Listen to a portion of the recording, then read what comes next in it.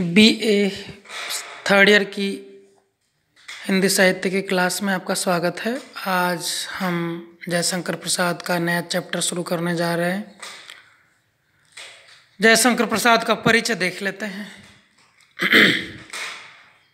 आपने स्कूल में जयशंकर प्रसाद की कहानियाँ पढ़ी होगी, नाटक पढ़े होंगे, निबंध पढ़े होंगे, उपन्यास पढ़े होंगे या कविताएँ पढ़ी होगी। एक टर्म चलता है हर फन मोला।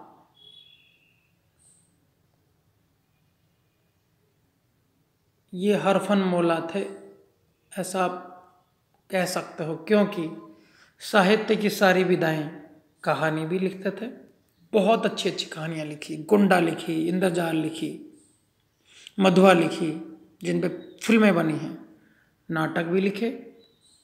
ध्रुव स्वामी जन्मेजय का नाग यज्ञ, चंद्रगुप्त, स्कंदगुप्त कल्याणी जैसे नाटक लिखे, उपन्यास लिखे, कंकाल, तितली, इरावती, और कविताएँ लिखी, सबसे अच्छी तो कामायनी।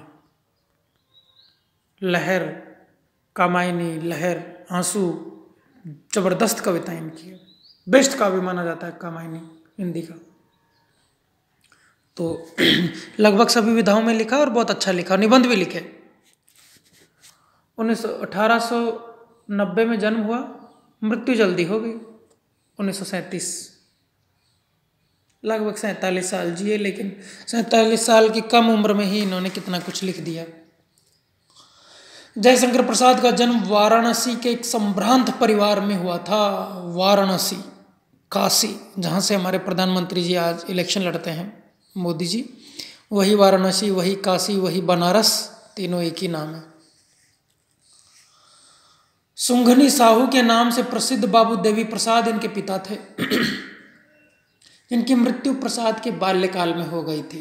देखो, जो जितना ज़्यादा दुख भोगता है, अगर वो मेहनत और संघर्ष करे, अपनी परिस्थितियों को संभाले तो वो उतना ही महान होता है। जयशंकर प्रसाद के पिताजी इनके बचपन में ही गुजर गए थे। बिना बाप के इन्होंने अपना जीवन शुरू किया था, संघर्ष शुरू किया था और कहाँ तक पहुँचे। प्रसाद जी का बचपन बहुत दुखों में बीता। जिस समय पिता की मृत्यु हुई थी क्वींस कॉलेज में पढ़ते थे। पैसे वाले थे? गरीब नहीं थे, लेकिन पिता का साया सर से उठिया बड़े भाई श्री शंभुरत्न जी पर घर का सारा भार पड़ा और अंत में प्रसाद जी को भी पढ़ाई छोड़कर भाई के साथ दुकान पर बैठना पड़ा। दुकान भी काई की थी? कपड़े लत्ते की, गहने की नहीं तंबाकू बेचने की। सुंगनी बोलते हैं तंबाकू को। सुंघनी यानी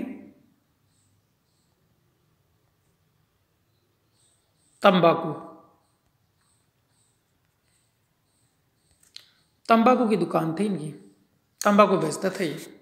उसी पे बैठे बैठे अपनी कविताएँ, अपने नाटक, अपने उपन्यास लिखते थे। कितनी बड़ी बात है धोती पहनकर ज़िंदगी जीने वाला, धोती, बनियान पहनकर दुकान पे तंबाकू बेचने वाला इंसान, उसको आप पढ़ रहे हो अभी थर्ड ईयर में और अब थर्ड ईयर में नहीं पढ़ते, जो आई का सिलेबस है, उसमें भी इसको लगा रखा है। देखो, प्रसाद जी को पढ़ाई छोड़कर भाई के साथ दुकान पर बैठना पड़ा। स्कूल की पढ़ाई छोड़ने के बाद भी प्रसाद अध्ययन में लगे रहे। घर पर ही रहकर उन्होंने आज, आप, आज की पीढ़ी तो कॉलेज में आके अच्छे अच्छे स्कूलों में आके भी नहीं पढ़ती।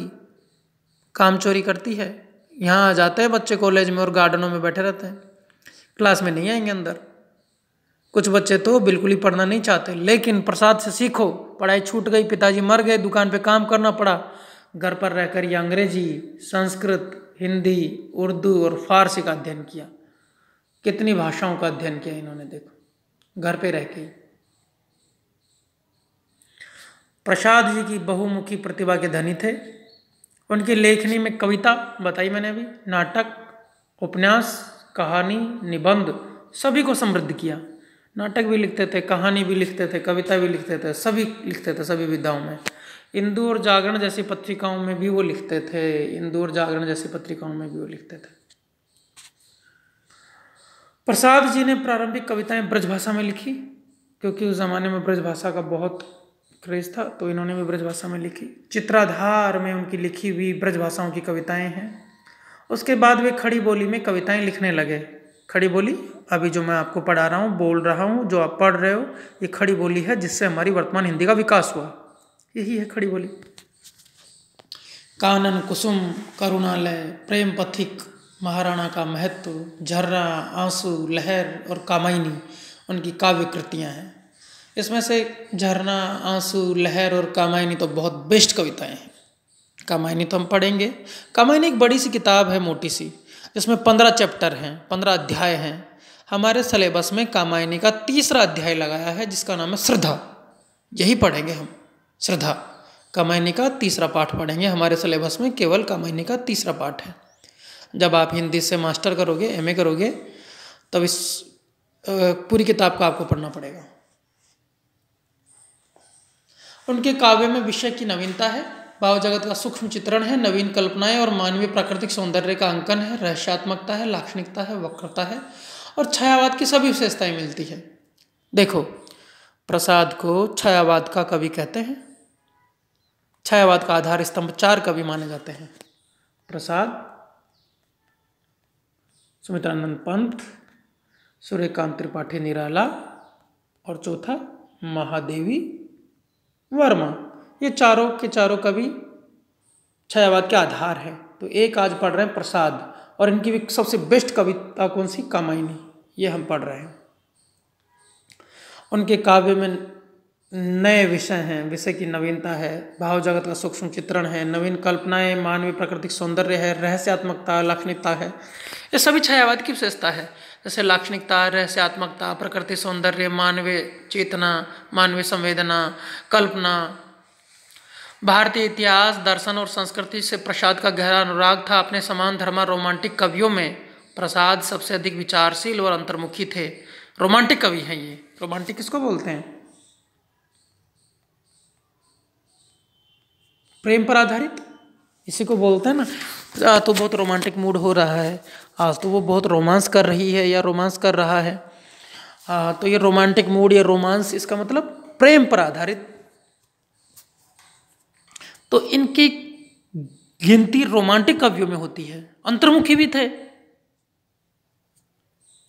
एक्सट्रोवर्ट इंट्रोवर्ट दो तरह की पर्सनैलिटी होती है। कुछ अंतर्मुखी होते हैं कुछ बहिर्मुखी होते हैं। कोई अपने आप में मस्त रहते हैं। कम लोगों से मिलना जुलना पसंद करते हैं, कुछ लोग बाहर बहुत पटलाई करते हैं तो जो बाहर बहुत पटलाई करता है, बात करता है, सबसे उसको बहिर्मुखी बोलते हैं।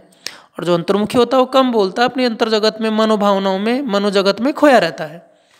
तो प्रसाद भी अंतर्मुखी थे उनका संस्कृति संबंधी चिंतन अत्यंत प्रौढ़ है। भारतीय इतिहास और संस्कृति की जो उनकी समझ है, जो उनकी चिंतन है, जो उनके विचार है, वो बहुत प्रौढ़, समझदार, गहरे हैं। सांस्कृतिक अध्ययन की छाप उनकी रचनाओं में भरी है, उभरी है। जो उन्होंने संस्कृति का इतिहास का अध्ययन किया, वो उनकी कविताओं में दिखता है। उनके लेखक लेखक के रचनाओं में दिखता है। और भारतीय संस्कृति के उज्जवल पक्ष, यानी अच्छी चीज़, और इतिहास के गौरवपूर्ण पन्नों को अपनी कल्पना के रंग में रंग कर उन्होंने राष्ट्रीय चेतना की अभिव्यक्ति की है। मजबूती भी, मजबूरी भी थी। उस टाइम पे हम अंग्रेज़ों के गुलाम थे तो हमारी राष्ट्रीय चेतना उस चेतना को जगाना, हमारे इतिहास के प्रति गौरव का भाव जगाना, इतिहास के अच्छी चीज़ों को दिखाना, जनता को जागरूक करना, ये उनकी ज़िम्मेदारी थी।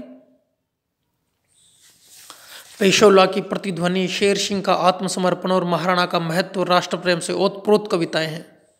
उनकी दार्शनिक चेतना का सर्वोत्त उदाहरण कामायनी है, जिसमें उन्होंने समरसता का दर्शन स्वीकारा है। समरसता यानी कोई दुख नहीं हो जीवन में सब सम हो जाए, शांत हो जाए।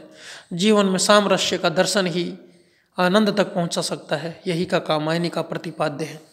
जीवन में समरसता हो और ज्ञान, क्रिया और इच्छाओं का समन्वय हो और आदमी अंत तक आनंद को प्राप्त करे, यही कामायनी का मूल विषय वस्तु है, प्रतिपाद्य है। इनकी कामायनी में एक लाइन आती है ज्ञान दूर कुछ क्रिया भिन्न है, इच्छा क्यों पूरी हो मन की? एक दूसरे से न मिल सके, यह विडंबना है जीवन की। ज्ञान दूर कुछ क्रिया भिन्न है। ज्ञान नहीं है, क्या करना है? क्रिया भिन्न है, क्रिया यानी कार्य। कार्य कुछ और करते हैं, ज्ञान है नहीं। इच्छा क्यों पूरी हो मन की? तो क्या कोई इच्छा पूरी हो सकती है, क्या मन की? नहीं। जब ज्ञान नहीं है काम ऐसा कर रहे हैं जो लक्ष्य तक नहीं पहुँचा सकता। ज्ञान दूर कुछ क्रिया भिन्न है, ज्ञान अलग है, दूर है, ज्ञान लिया ही नहीं। कार्य कुछ और कर रहे हैं। इच्छा पूरी क्यों हो मन की? कार्य करना चाहिए, पढ़ने का, काम कर रहे हैं मोबाइल में, टाइम पास करने का, चैटिंग करने का तो कहाँ से इच्छाएँ पूरी होगी मन की? तो इच्छा क्यों पूरी हो मन की, एक दूसरे से न मिल सके, यह विडंबना है जीवन की। तो इस आनंदवाद तक पहुँचने का प्रयास इस कामायनी में किया गया है। जीवन का उद्देश्य है आनंद की प्राप्ति तो ज्ञान, क्रिया और इच्छा का समन्वय इस कामायनी में किया गया है।